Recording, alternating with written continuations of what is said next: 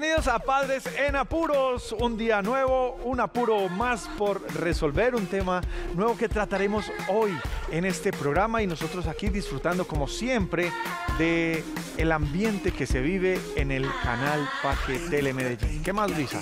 Muy bien, ¿y tú, Juanpa? Muy bien, muchísimas gracias. Aquí contentísimo de que hoy aprendamos un poquito más sobre esto que es ser padres. Así es, Juanpa. Imagínate que nos comparten todos los días mensajitos de cómo están viendo el programa, si les gusta, qué quieren ver. Y hoy tenemos uno que les queremos compartir a todos los televidentes. ¿Qué dice entonces ese mensaje, Luis? Se lo mandaron a Nati Lactancia, una de nuestras invitadas de hace una semana, y ella nos lo compartió y aquí se los queremos compartir a todos ustedes. Dice, muy buenos días, te vi en el programa de Telemedellín y gracias a ese día no dejé la lactancia materna.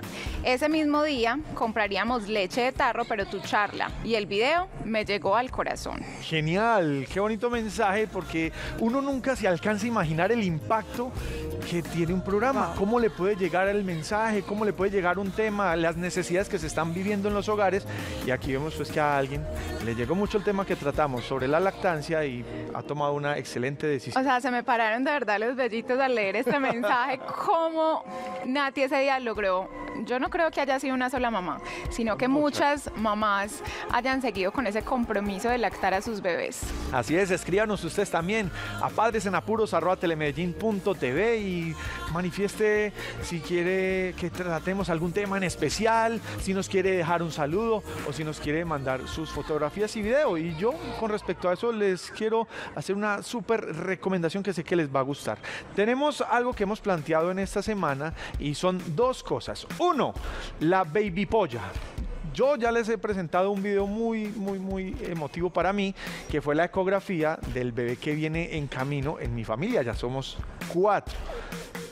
Aquí está la ecografía que queremos presentarles a ustedes. Una imagen donde algunos ya sabrán distinguir. Yo no sé, hay gente muy tesa que ve la fotico de la ecografía y sabe qué va a hacer. Miren, ¿Qué será lo que viene en camino para la familia Ortiz Bello? Luis, tú ves esa fotico y, tú qué crees? No, no, pero es que eso de verdad tiene que ser el especialista, pues uno ahí no ve mayor cosa. Los especialistas ven esa Yo le veo cara de niño, cara de niña. esto es una niña. Y ahí tenemos entonces... Lo único claro es que es uno. Sí, es uno. No serán mellizos, no serán gemelos. Un bebé viene en camino, se abren las apuestas para que ustedes participen entonces con nosotros. Ya lo saben, envíenos entonces a padresenapuros.telemedellín.tv. Juanpa, muchos abuelos, tíos y hasta personas jóvenes dicen, bueno, ¿cómo es la barriga? ¿Redonda, puntuda? Es que si es puntuda tiene cara de niño, si es puntuda tiene cara de niña. ¿Cómo es la barriga de tu esposo? A ver si de pronto así le ayudamos un poquitico a los televidentes. Ahí sí me corcharon. Yo solo podría decir que es redondita. Yo no sé qué tan paradita, qué tan bajita. Pues ahí lo dejaremos entonces en, en, puntas. La canción que estamos escuchando, pues de fondo vamos a tener una música muy bonita y es la canción que queremos hacer muy especial para todos ustedes. Diego Caicedo, nuestro compañero de Telemedellín, le compuso una canción muy bonita a Martina cuando estaba en gestación. Y queremos hacerle un videoclip con nada más y nada menos las fotografías, los videos que ustedes tengan para que le demos vida a esta hermosa canción. Una canción que nos contaba él cuando la pusieron en el grupo de, de madres y padres sacó lágrimas. Pero es que ayer que yo la escuché, Juanpa, ¿cómo será? O sea, ¿cómo serán tus ojos? Uno todo el tiempo es imaginándoselos. Ay, me dan ganas de llorar. ah, pues pongámosle un pedacito, pongámosle un pedacito de la canción para ver si Luisa suelta No, es en serio. Aquí está un pedacito de ¿Cómo es posible? de Diego Caicedo. Pero ya siento tantas cosas y siempre pregunto por qué desde que supe de ti, te amé. ¿Y cómo es posible que sin conocerte ya sienta tanto por ti?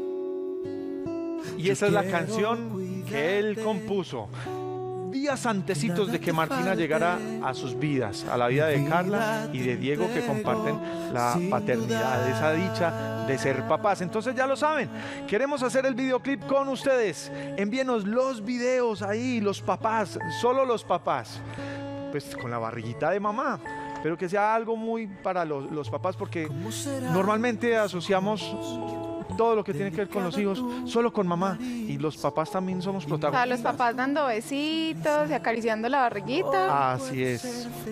Los papás entonces que quieran ser parte de este videoclip que queremos hacer. Bien, pero bien especial. Ahí la tenemos entonces, ¿cómo es posible? De Diego Caicedo, para que la busquen en YouTube y se dejen contagiar de lo, del amor de esta canción. El tema de hoy, Luis, que tenemos para desarrollar. Comunicación asertiva. Bien, la comunicación con nuestros hijos.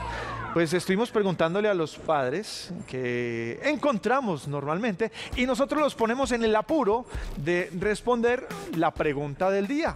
Pues, ¿cómo es la comunicación con sus hijos? Esto es lo que nos respondieron.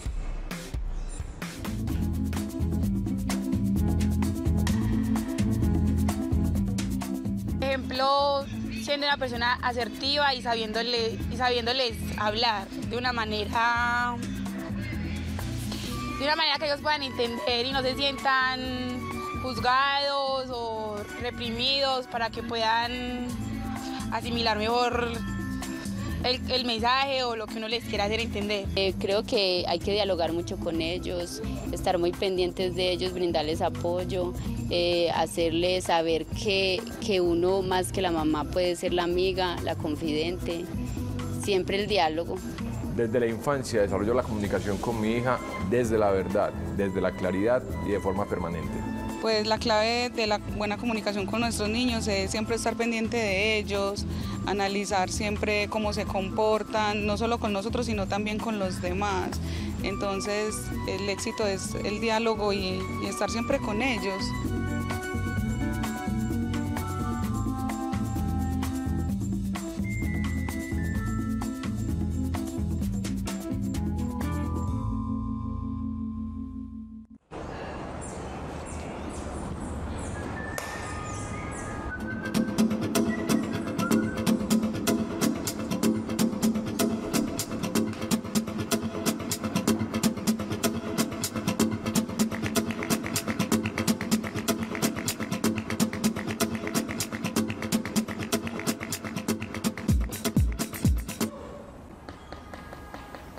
Bienvenido a la segunda clase, práctica. Hable más fuerte, aún más fuerte, completamente fuerte. Grite, desgañítese, desgañítese, descanse. Parece, hable con expresión. Demuestre.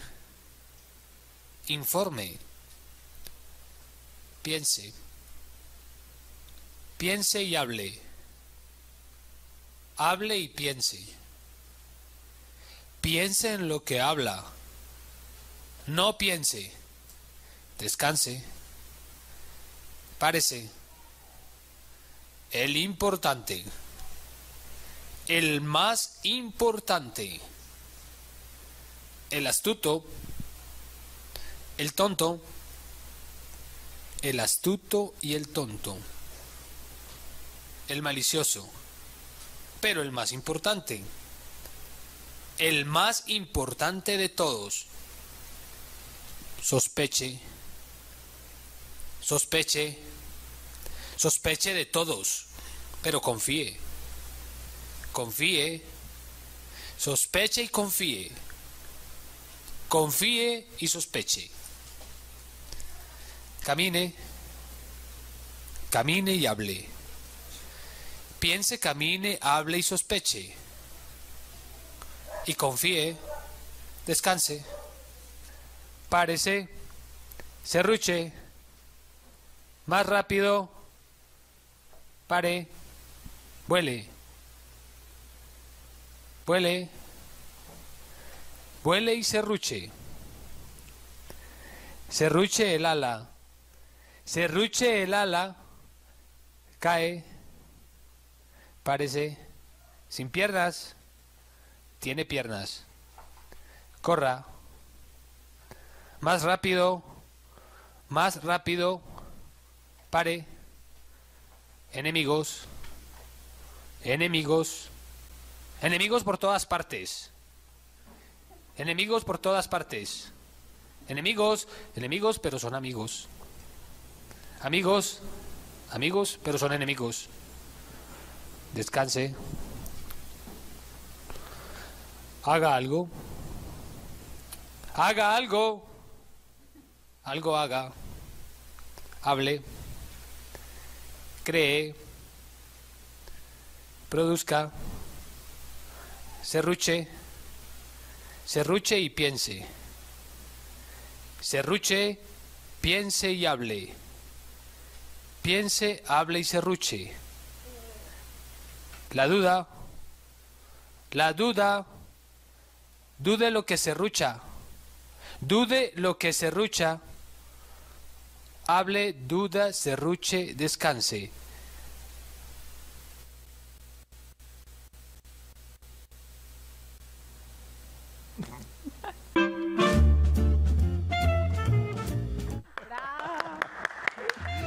Pues Luis, aquí tenemos una situación muy, muy, muy importante. ¿Cómo comunicarnos con alguien que no habla? ¿Cómo aprender a leer sus gestos?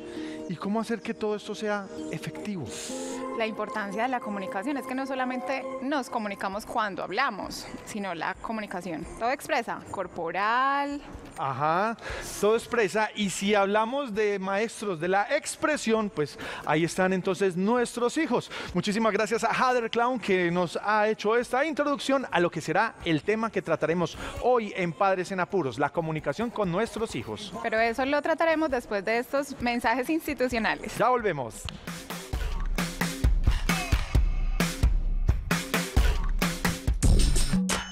Estás viendo Padres en Apuros.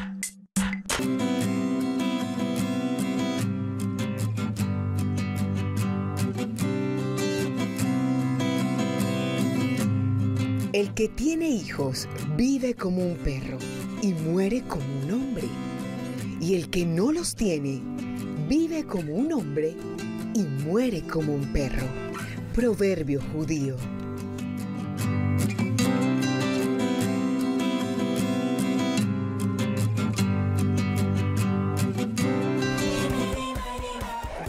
Estamos en Padres en Apuros y hoy trataremos el tema de la comunicación con nuestros hijos. Y para eso tenemos una experta que nos acompaña y ella es Amalia. Amalia, tú eres nuestra, nuestra experta del día, ¿cierto? Y nos vas a enseñar a comunicarnos, nos vas a ense- a enseñar a, a- a cómo debemos entenderlos a ustedes los niños. Es que lo- los grandes no los entendemos, ¿cierto que no? ¡Hermosa! Muy bien, Ami, bienvenida. Este programa es para ti. Pero a mí no vino sola. Vino con Katy Aguilar, su mamá, que hoy es nuestra especialista. Ella es comunicadora, certificada en PNL, una apasionada por todos los temas de la maternidad. ¿Cómo estás? Bienvenida. bien, Muchas muy- gracias por acompañarnos. Gracias a ustedes por invitarnos. Muy bien, nuestra gran intriga, Katy, es lo que veíamos al principio en la situación que nos presenta Jader Clown.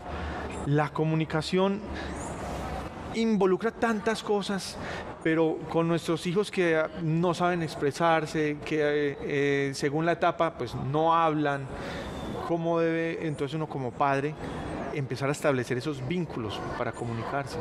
Bueno, el ejemplo de clown fue perfecto, porque muchas veces así tratamos a nuestros hijos. Párese, coma, pero rápido, no riegue, no se mueve, mire, mi- O sea, utilice los cubiertos, no se toque las manos con el pelo, el, el pelo con las manos sucias, recoja, pero no los ponga ahí y los...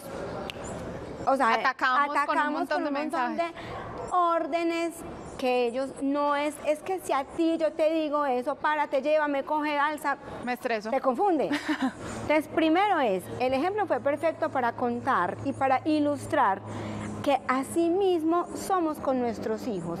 Les damos una cantidad de órdenes que esperamos que ellos cumplan como nosotros creemos que se deben cumplir, no como ellos están asimilando en el momento, ¿cierto? Segundo muy importante y es que la comunicación no es solamente lo que yo digo, sino que involucra una cantidad de aspectos importantes que a veces perdemos de vista. Para comunicarnos con nuestros hijos, y a ver, cuando hablamos de comunicación asertiva, hablábamos de aquella comunicación que se hace en unos términos amables, donde yo tengo en cuenta mis intereses, los intereses de la otra persona, donde yo no cedo a mis intereses, pero tampoco obligo al otro a que los haga. Hay una negociación, hay un entendimiento, ¿cierto? Pero con nuestros hijos, más allá de asertividad, tenemos que tener afecto comunicación afectuosa, afectiva con los chicos. Comunicación afectiva. Tiene que haber, más allá del com- afectivo. tiene que haber conexión. Pero para que haya conexión, más allá de la forma, tengo que revisar qué hay dentro de mí. cuáles son mis creencias respecto a la crianza, respecto a la maternidad, respecto a los niños, a mi rol como mamá. O sea, mirarnos primero como Y papás. este es un trabajo hondo, que a veces duele e incomoda. Porque si yo estoy parada en unas creencias respecto a la crianza, si yo estoy parada en, en unos juicios, en unas altísimas expectativas de lo que debería o no hacer un chico a determinada edad, pues por más que mi comunicación sea de forma amable, no va a ser una comunicación efectiva ni afectiva, ¿cierto? Ami, ¿qué quieres? Dilo sin pena. Ay, es que tú estás sin Recuerda que el ¿Qué quieres, Ami? Siempre estamos a partir de esos conocimientos o todo eso que traemos de atrás imponiendo a nuestros hijos. Exacto, entonces te voy a poner un ejemplo. Si yo como mamá tengo un legado de una crianza autoritaria, como fue la mucha de la crianza de nosotros, donde se hacía lo que los papás decían, y yo quiero criar a mi hijo con un poquito más de libertad, pero tengo esa creencia arraigada en mí. Cuando mi hija me diga que se quiere quitar los zapatos y andar por el parque descalza, yo le voy a decir, ay amor, no. De forma muy amable, pero es porque la creencia mía de que el mugre, de que los niños, de que el buen comportamiento, de que siéntese como es, no me están permitiendo que mi hijo se exprese libremente. Entonces, por ejemplo, Amalia, pretendemos que salude a todo el mundo de pico, porque claro, uno saluda cuando llega, porque el adulto me genera cierta, o sea, yo tengo que saludar. Ser educado. Pero si Amalia en ese momento está tímida, retraída, porque está viendo un montón de cosas que ella no conoce, que le generan temor, pues yo no la puedo obligar a saludar. Pero mi creencia es que los niños saludan cuando llegan porque eso es el principio de la educación. Pero no me conecto con ella, con su sentir, con su necesidad. ¿Qué te pasa? Tú estás incómoda. Tú realmente sí quieres estar acá. Tú realmente sí entiendes. Entonces es eso, es conectar con el sentir del niño. Cuando yo le doy muchas órdenes como se las dieron al clown, come ya que nos vamos rápido. Come ya que nos vamos rápido. El niño tiene afán. El niño entiende, tiene noción del tiempo. Ni siquiera sabe muchas veces para dónde va. Y entonces, ¿qué- pero ¿cómo? Exactamente, el niño tiene hambre, no tiene hambre. Entonces, eso es importante. Una comunicación cara a cara y ponernos a la altura de ellos, ¿cierto? Pero a la altura emocional, más que a la altura física, porque el tema lo tenemos muy a nivel intelectual. Yo debo ponerme a la altura del niño, entonces yo me agacho y le hablo, pero, no me pongo a la altura de sus emociones, porque yo sigo siendo la adulta, que estoy en el control de la situación. No hablamos de controlar las situaciones, hablamos de gestionar, de ayudarles a ellos a que tengan recursos para resolver algunos temas. Entonces, nos vamos, ¿tú qué te quieres poner para irnos? ¿Qué ropa quieres siempre. usar? Darles opciones, enfocarnos en soluciones. Mira, vamos a salir cuando el reloj, el palito esté en tal número, si ya conoce los números, o si no en el color. ¿Tú quieres irte bien peinada o te quieres ir sin peinar? Y si se va mal peinada, ¿qué importa? ¿Cierto? ¿Qué pasa si la muchachita sale con un chulo sí y el otro no? Si hoy no se quiere peinar. ¿Qué pasa si? ¿Qué pasa si no se come todo el plato? Porque lo obligamos a comer. Entonces, por ejemplo, yo con Amalia hago el ejercicio porque fui una mamá que cometí y sigo cometiendo muchos errores. Esto ha sido un experimento, un laboratorio. Entonces antes era, no has comido bien Amalia, es que tú no estás comiendo bien y te vas a desnutrir. Ahora le digo, ¿cómo está tu pancita? Te quitaste el micrófono. ¿Quieres me que te deja lo quitemos? jugar, no me deja brincar, disfrutar del muro de escalada. Entonces yo ahora le pregunto a ella, ¿cómo está tu pancita? Mami, está bien. Hija, perfecto, no termines. A mí. Porque es que tú te imaginas yo cuchareándote y obligándote a terminar un plato que quizá no estás en disposición de terminar. Digamos que es entender también cómo nos pasa a nosotros. Todos los días no tenemos la- el mismo apetito. Entonces, la idea no es que no desayunó, no almorzó, tampoco comió, no, pero entender que a veces no tienen el mismo apetito. Exacto. Y darles ese espacio. Entonces, por ejemplo, yo entiendo que esta chiqui cuando está de paseo con los primos o los amigos, la comida es lo último. Ajá. O sea, es lo último. Eh, entonces es entender, es conectar con la emoción. Primero, básico, para yo conectar o comunicarme bien con mis hijos, y esto aplica para todo el mundo, es conectar con su emoción. Y ya Amalia se conectó con nuestro muro de escalada, está feliz, no se cambia por nadie. Juanpa, recordémosle a los televidentes que nos pueden llamar al 268-6030 y comentar sobre este tema. Aprovechen que tenemos acá a la experta y nos puede resolver muchas inquietudes. Claro, las líneas están abiertas y, y bueno, ¿cómo rompemos esos esquemas con los que veníamos como adultos de la forma que nos criaron para mejorar lo que es la relación con nuestros hijos? Bueno, ahí es muy importante revisarnos, revisar cuáles son mis creencias y mis expectativas respecto a la crianza, respecto a mi papel. Es que mi hija me tiene que hacer caso porque yo soy la mamá y yo soy la guía de mi hija y mi hija me tiene que hacer autoridad. ¿cierto?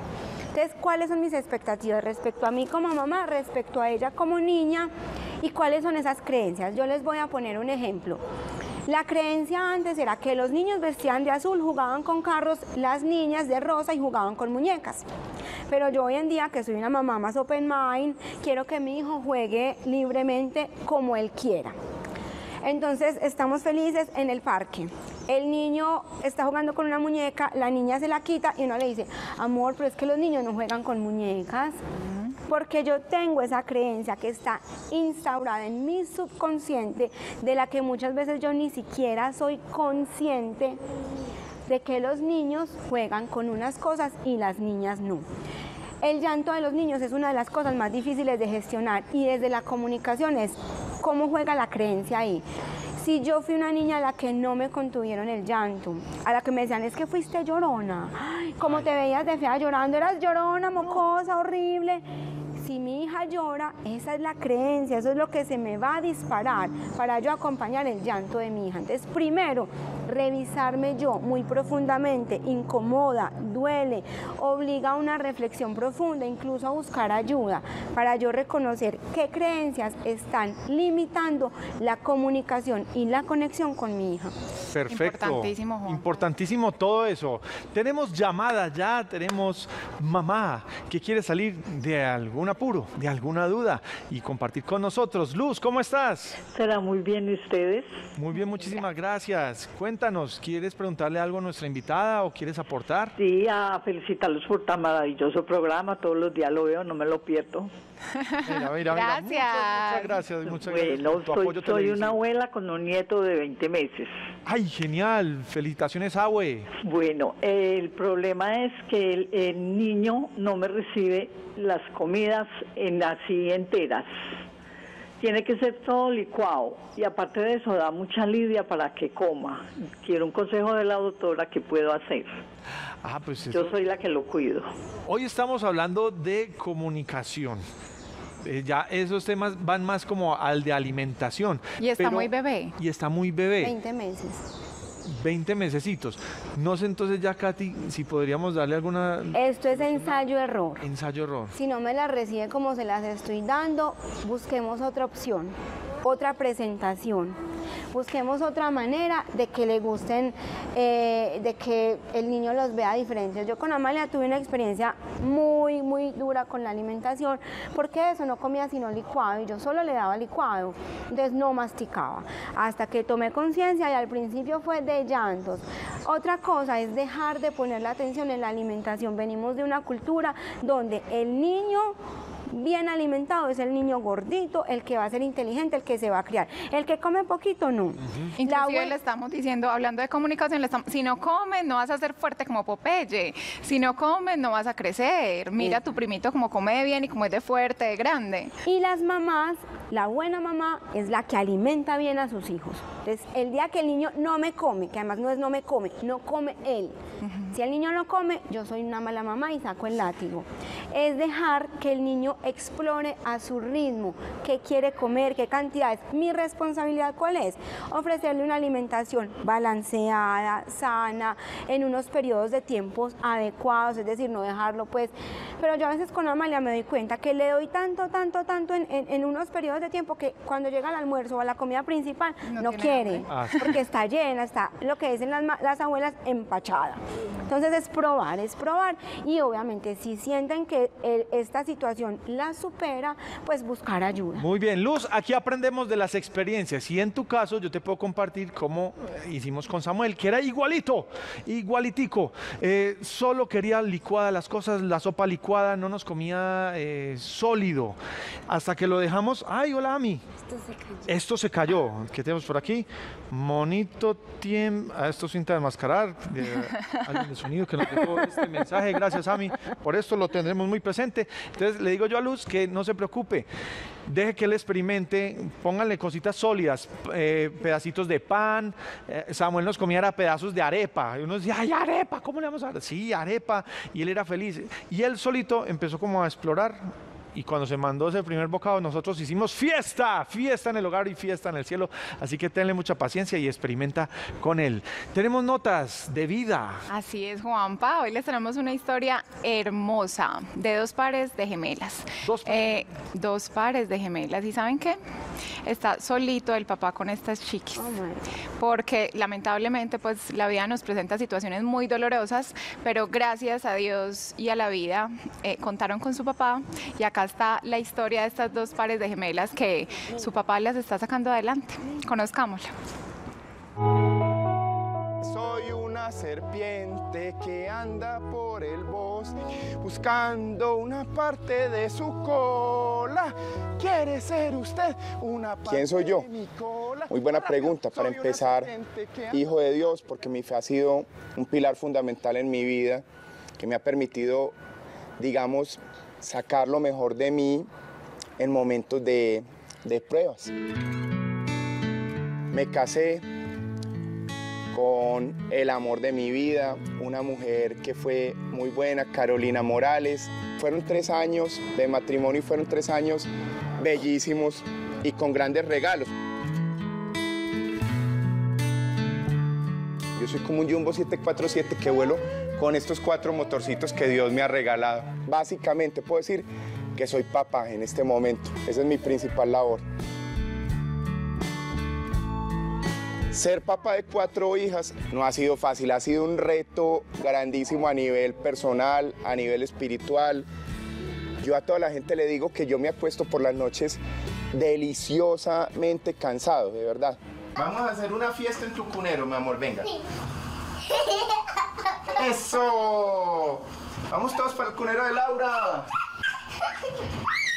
Trato que cada niña sienta que le dedico tiempo de calidad aparte. Ellas comenzaron guardería y yo he podido volver a tener un poco de tiempo más para mis cosas, dedicarle más al trabajo, porque yo sé que las recojo en la guardería y cuando ellas ya llegan a la casa, olvídese que yo ya no puedo pensar en trabajar, ya me dedico todo el resto de la tarde a ser papá. Pero todas, a ver, cosquillas contra papá, a ver, todas contra papá. A ver, la- Alejita no quiere acariciar a papá. Camila, te botó el sticker. Ahora lo recogemos, mi amor. Camila, no molestes a Camila, que es la mayor, por dos minutos, yo siempre le aclaro, ha asumido como la posición de liderazgo sobre todas sus hermanas.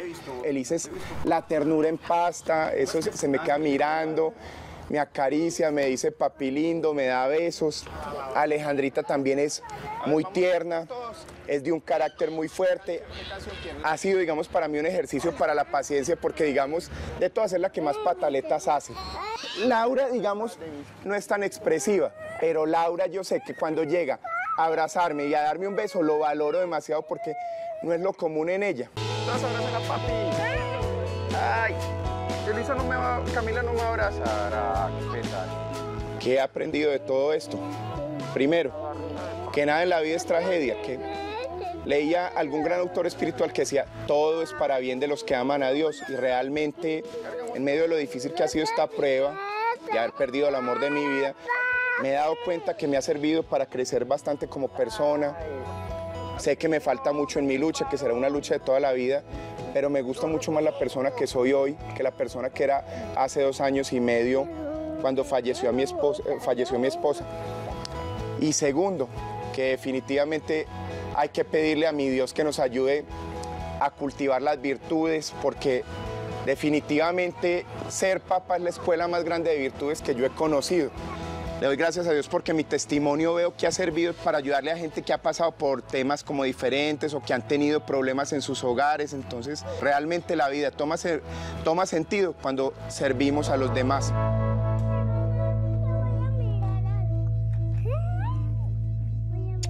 Una frase que le quisiera decir a mis hijas. Que sean siempre mujeres de fe. Historias de vida en Padres en Apuros. Si tienes una historia, escríbenos a padresenapuros.telemedellín.tv. Y continuamos aquí disfrutando de la compañía de Amalia que se ha tomado la escenografía de nuestro programa y también de la compañía de Katy que nos está compartiendo todo esto con lo que estamos aprendiendo hoy para comunicarnos con nuestros pequeños. Los niños son mucho gesto, pero también intentan hablar, comunicarse con nosotros y también ponen intención. De todas las formas que hay de comunicarse, ¿cuál es la más importante? Ami. Yo creo que todo es un conjunto, porque lo importante es ver la emoción o lo que ellos nos quieren decir en ese momento. Hay unos niños que son mucho más auditivos, entonces eh, se comunican más a través de lo que escuchan, les queda mucho mejor grabado lo que escuchan, lo que uno les dice, entonces ponen mucho cuidado en el tono, en las palabras que utilizamos. Hay otros que son más visuales, entonces se conectan más con nosotros a través del gesto y ellos expresan más a través del gesto.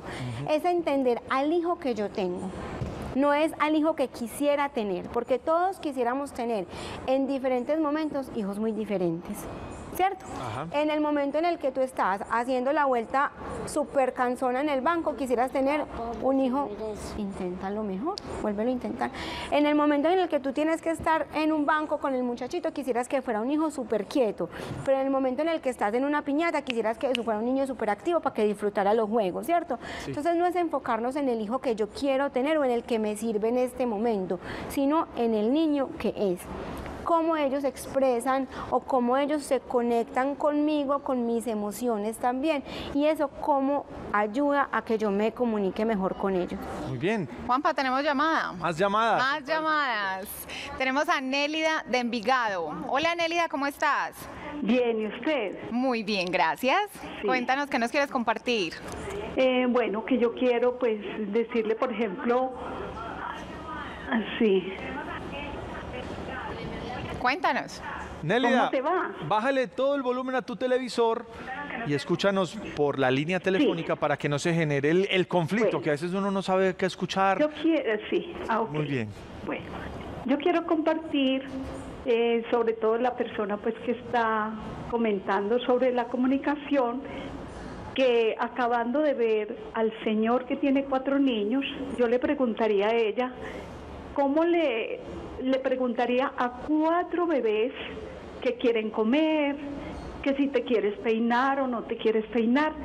Mira que las madres nuestras tuvieron hasta 10 hijos y era muy difícil. Yo creo que la comunicación empieza cuando un padre como ese tan hermoso empieza en su parte espiritual. Porque cuando hay conexión con Dios, no con los seres humanos, es el primer diseño para poder saber comunicarse con los demás. Ese es mi aporte. Muchas, gracias. Muchísimas gracias, que es algo de lo que nos está hablando Katy, que la comunicación va mucho más allá de la forma. Debe siempre haber un fondo, una conexión que se tenga con los hijos para que nos podamos como entender. Bueno, ella decía algo muy importante y es yo como les pregunto a, mi- a cuatro hijos si quieren comer, si quieren peinarse. Mire, no se trata de poner todo a la elección de los hijos. Claramente nosotros como padres somos la guía de los hijos y tenemos que poner unas eh, dinámicas familiares que si bien responden mucho a ellos de acuerdo a la edad, pues también hay que favorecer eh, la- las preferencias, los gustos, la vida de los papás, de los adultos que están alrededor de ellos. Entonces, si en mi casa el almuerzo se sirve a las 12 del día, pues yo no le puedo preguntar a mi hija, ¿tú a qué horas quieres almorzar? Pero sí tengo que mirar cómo es esa rutina para que ella, cuando sean las 12 del día, esté en disposición para al- almorzar. Muy bien. Porque si le diera media mañana a las 11, claramente está llena y a las 12 no se va a sentar. Entonces no es preguntarle, ¿quieres almorzar? Sino aquí está el almuerzo y tú comes hasta donde tu pancita esté feliz. Vamos para el colegio y al colegio hay que ir peinados. ¿Cómo te quieres peinar? ¿Una cola o dos? Es darles opciones. Claro, pero yo soy la que sigo teniendo, eh, no digamos el control, porque la palabra control suena muy autoritaria, pero yo soy la que pues, tengo el, el- el timón o la batuta de la situación, porque yo no puedo eh, eh, pretender que ella eh, decida cosas que claramente no está. Nosotros les damos unas herramientas y les ofrecemos a ver cuál quiere nuestro hijo, ¿cierto? Exactamente. Y eh, yo le puedo decir, vamos para una fiesta, ¿qué te quieres poner? Entonces ella dice, me quiero ir de pijama. Bueno, corazón, yo creo que la pijama no es como eh, la ropa más indicada, pero puedes elegir entre este vestido y este pantalón. Pues bien, pues cómo hablar. Tenemos un video que nos da 10 recomendaciones con respecto a algunas situaciones que se presenten con nuestros hijos para que sepamos qué opción es la más adecuada para decirles y así tener una mejor comunicación. Pues esos son algunos ejemplos de respuestas, de preguntas, de formas en cómo le podemos decir o indicar algo a nuestros hijos y así tener una mejor comunicación.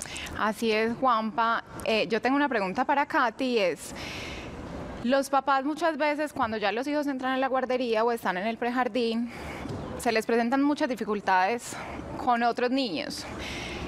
La comunicación asertiva es también darles esas, herramientas a nuestros hijos para que entre ellos mismos resuelvan ciertos conflictos o ciertas situaciones. Pero se presenta mucho que muchas mamás, inclusive hasta ya adolescentes, le resuelven por así decirlo, la vida a los niños y no los dejan ser, no los dejan resolver esos conflictos. ¿Qué tan bueno es o cómo debe ser esa intervención entre los papás para que los niños aprendan, obviamente, entre las mismas edades a resolver conflictos, que también tiene que ver con la comunicación asertiva. Bueno, ahí es importante, es, desde disciplina positiva nosotros hablamos de el enfoque en soluciones. ¿Qué vas a hacer tú para solucionar esto? Ay. Ah, mira, para, se puede. para solucionar el esto. Y desde la crianza consciente hablamos de la confianza. Yo confío en la sabiduría que tiene mi hijo para resolver determinados problemas que estén en el orden de su edad. ¿Cierto? Yo no le voy a preguntar a mi hijo, no he pagado los servicios, ¿qué vamos a hacer? No, eso no, no lo preguntamos. Por ejemplo, cuando pelean por un juguete. Con los pelos es cómo lo vas a resolver. ¿Qué podemos hacer? ¿Será que juegas tú primero con él y luego juega el otro amigo? ¿Será que se turnan? ¿Será que retiramos el juguete y juegan otra cosa? Es decir, ¿qué quieres tú hacer en ese momento? ¿Cómo lo van a resolver? Yo tengo una teoría y es hasta que no haya sangre no intervengo. Porque yo soy en el parque y yo me siento a verla y estoy pendiente, pero no controlo cada movimiento de ella. Si yo veo que está como en un en una conflicto con una amiga, le digo, chiqui, ¿qué está pasando? No, es que ella me... Amor, entonces, ¿cómo lo vamos a resolver? Si veo que no lo puede resolver, pues nos, nos retiramos o buscamos otra opción. Y así, a medida de, sus, eh, de su edad, eh, que está en edad ella de hacer, o sea, que está en capacidad de hacer. Eh, obviamente ya si es un tema recurrente que todos los días muer- el mismo niño muerde a los niños, ya pues ya es un tema que hay que intervenir. Pero el conflicto normal de no me quiere prestar, de no quiere jugar conmigo, de me sacó la lengua, esas cosas resolvámoslo. Muy bien. Resolvámoslo. ¿Cómo lo vas a hacer? Y nosotros resolvemos algo que tenemos pendiente y son los mensajes institucionales y ya volvemos con Heather Clown que estará con nosotros de nuevo.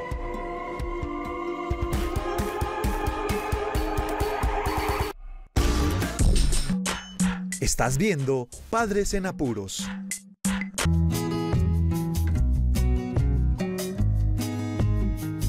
solo podemos aspirar a dejar dos legados duraderos a nuestros hijos.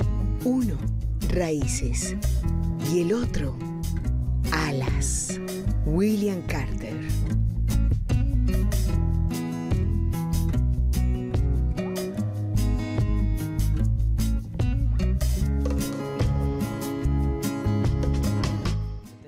Tenemos llamada. Reinaldo, ¿cómo estás? Buenas tardes, ¿cómo les ha ido? Los felicito el programa. Muchas Gracias, gracias. ¿Qué, nos, qué nos quieres compartir? Porque, doctora, se peca tanto en los padres con los niños. eh, el padre estará preparado en comunicación porque es que yo, hay padres que los niños que no tienen sino alma y vida y corazón pagan los problemas de los grandes. Usted decía ahora, yo qué le voy a decir al hijo mío que va a pagar la cuenta de servicios, esas cositas porque los problemas los pagan siempre los niños. Esa es mi inquietud. Yo no creo porque es que el niño es sagrado, viene y busca una formación, aspira a que tenga a sus padres al lado como la ley lo manda. Muchas gracias, Reinaldo. Sí, los padres haciendo que los niños paguen las cosas de adultos. De adultos. Bueno, es que como decimos, eh, los niños no vienen con manual y los padres cargamos con una historia de vida que sí o sí impacta en la crianza de nuestros hijos. Entonces, por eso hablamos mucho de autocuidado, de saber que si yo me atiendo a mí, si yo me cuido a mí, pues voy a estar dispuesta y preparada para atender las necesidades, no físicas solamente, sino emocionales de mi hija. Eh, y hay que formarnos. Por eso es tan importante estos programas con contenido que antes no teníamos acceso a ellos. Eh, es formarnos, es buscar cómo nosotros podemos tener más y mejores herramientas para tener una crianza más tranquila, más empoderada, donde nuestros hijos puedan ser quienes vinieron a ser no el reflejo de lo que yo quiero, no es eh, el hijo que me va a hacer feliz, no es el hijo que me va a dar lo que yo antes no tenía, no, él es un ser que vino a ser y yo cumplo un papel de guía. Pero claramente todo lo que yo siento, incluso desde el embarazo, estos chiquitos lo sienten. Entonces, para ser padres hay que elevar nuestro nivel de conciencia. Eso es importante, ser conscientes del impacto que yo tengo en la vida de ellos. Muy bien, ya esto se nos acabó. Aquí nos vamos a, a preparar para la foto final. Katy, muchísimas gracias por A ustedes, muchas gracias. Amalia, Ay, muchas Ader, ¿quieres gracias. hacer entonces invitación para tu Eh, bueno, invitarlos, estoy en todas las redes como Jader Clown, Jader con J y Clown, payaso en inglés. Eh, los invito este próximo viernes, sábado, sábado eh, y domingo, sábado a las 4 de la tarde y domingo estaré en el Teatro Cara Antoña con un espectáculo muy bonito de, de ecología, hablando un poquito de este mundo y de la responsabilidad que tenemos con el planeta. Están invitados, tenemos pases de cortesía, si de pronto tienen la forma de entregárselos a los Claro. televidentes, si se puede. Nos escriben padres en apuros arroba telemedellín.tv. Yo quiero ir al espectáculo de Hader y nosotros ahí. Se van a reír, van a disfrutar y sobre todo vamos a reflexionar un poquito sobre este planeta y nuestro papel en el mismo. Y Katy, ¿y dónde te podemos encontrar a ti? Bueno, en Instagram aparezco como Katy Aguilar, con C, con Y, Katy Aguilar, y allí comparto toda mi experiencia eh, como mamá. Eh, mis reflexiones, eh, las embarradas, los aciertos, eh, una mamá como todas, con muchos ánimos de querer ser mejor. Muy bien, y por aquí más adelante tendremos pues, a- nuevamente a Katy con una invitada especial, con algo que eh, les estaremos comentando muy interesante para todos nosotros. ¿Y qué tal si nos despedimos con una foto, Ami? Vamos todos a posar entonces aquí para la foto. Nos vemos mañana con un nuevo tema, un nuevo puro para compartir. ¿Ya la foto? ¿Ya la tomaste? Sí. sí.